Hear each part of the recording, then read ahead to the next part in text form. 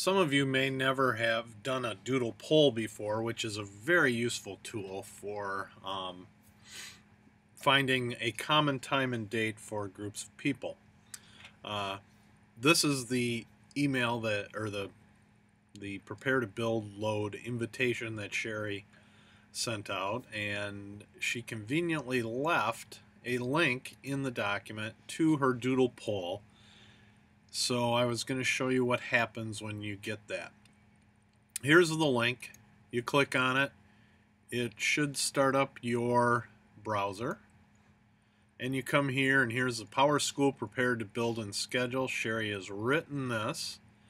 Um, and she has put down limited poll. So what you do is you come here and you look and you type in your name